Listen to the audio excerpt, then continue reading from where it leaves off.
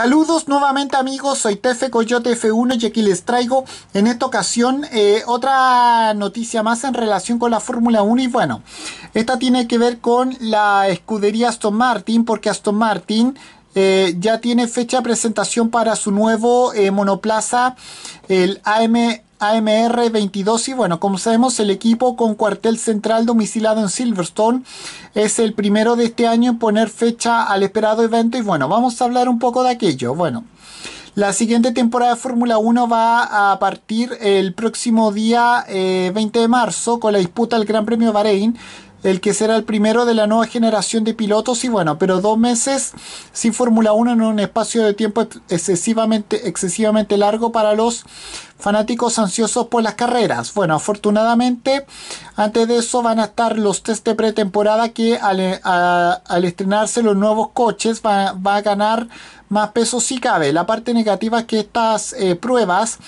eh, que desde hace casi una década son conjuntos no van a tener lugar hasta finales de febrero, de nuevo un espacio grande de tiempo. Bueno, ¿qué queda para rellenar este espacio? Bueno, precisamente las presentaciones de la mismísima escudería, antaño prácticamente ignoradas, no se empezaron a explotar hasta que se cerraron los acuerdos con los grandes eh, auspiciadores y bueno.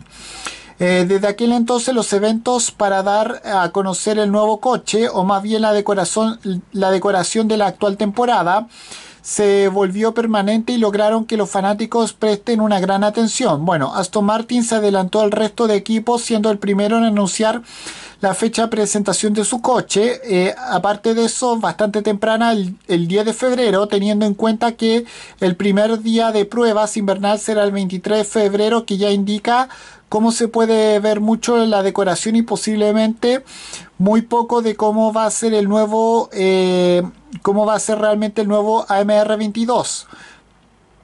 Esta será la primera creación de la de la, de la empresa automotriz Aston Martin si se tiene en cuenta que el monoplaza del año 2021 estaba congelado y el de 2020 fue creado mientras el equipo eh, se llamaba tenía el nombre de Racing Point. Y bueno, si bien la sede eh, es el grueso de los empleados sigue siendo el mismo, el equipo de Lawrence Stroll repite con su dupla de pilotos compuesta por, eh, por el canadiense Lance y el alemán Sebastián Vettel.